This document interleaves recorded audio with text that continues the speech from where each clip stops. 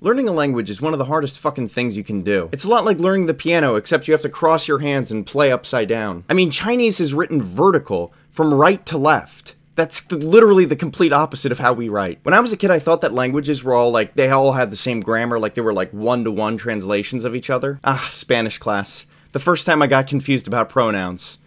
Happens pretty often now. People get pissed when you mess up their pronouns, but if you ask me to call you they, them, I'm gonna ask where the rest of you are. I, I just see one person. I mean, when I was a kid, I had the worst Spanish teacher ever. I, I, learned nothing from first grade to eighth grade. I literally left middle school only knowing how to say uno, dos, tres, azul, rojo, and tango un pene grande, which means I have a big penis. I, didn't learn that one in class. But learning a language is so important. It gives you this whole new path to communicate with somebody that you wouldn't have been able to communicate with at all before. I've been watching this guy on YouTube called Xiaoma NYC, and uh, he does these really interesting videos where he goes into Chinese restaurants as a white guy and speaks perfect Mandarin to the to the workers there, and it completely blows their minds. Dude definitely gets a lot of kung fu coochie, if you know what I'm saying. I spent a lot of time learning a very specific language, and I'll let you guys try and guess what it is. I'll give you a second, okay? Alright, you got it?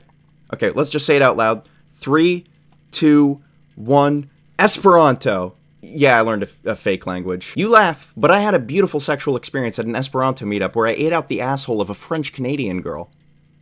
But that ain't on your resume. I actually got into like the inner circle of Esperanto speakers, and yes, there is an inner circle, and uh, it's I got there just by putting shit posts on YouTube for like two years. You can check out the channel. It's called Jake H. All the videos are still up. I embarrass myself in English pretty often. I make jokes that fall flat. I stumble over my words, and I make myself look like an insensitive moron who still has a teenage mentality. But when I learn another language, I get to do all of those things, but in a different country. The effort that it takes to learn a new language is astounding. I mean, you can practice hours every single day for years straight and still only be able to communicate like a toddler who's slightly intelligent. Donde está el baño? Donde está la biblioteca?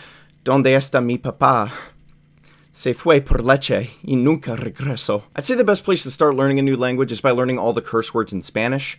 That way you can curse out your gardener when he puts down the wrong type of mulch.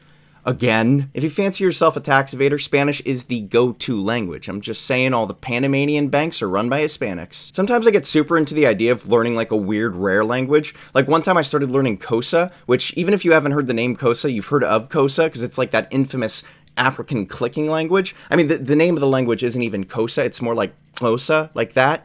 I stopped learning it when all the furniture in my room started floating around. Kind of freaked me out. When I was learning Esperanto, I wasn't really interested in the community. I just thought it seemed like a fun thing to do. But then I started to really get into it, and that's when I learned that most Esperanto speakers are Europeans. There's not a lot of American Esperantists. In fact, I actually got canceled by the Esperanto community because I represent everything that they hate. A cocky American imperialist with a very, very dark sense of humor. I actually got removed from like all of the Esperanto group chats for like literally one joke, and if you know me, it's gonna seem pretty fucking tame compared to the shit that usually leaves my mouth. Basically, they were all going off about how much they hate Boris Johnson. Now, I'm an American, I don't give a fuck about British politics. I know Boris Johnson's the Prime Minister of Britain, so I decided that I'm gonna go in there and fuck with them and pretend that I'm a huge Boris Johnson fan. They got really up in arms immediately. I, I mean, they were asking me those stupid European questions like, do you even know this guy's history? Do you know anything about this guy at all? I'm like, no, honey, I'm an American. I don't give a fuck. Apparently, this guy in college wrote like some letter about like hating Scottish people, which I just took as a joke. I mean, what have the Scottish done besides invent some of the world's worst fucking food? So I went along with that as well, and I'm like, yeah, I agree. We should exterminate all of the Scottish people because they wear kilts. I don't like kilts.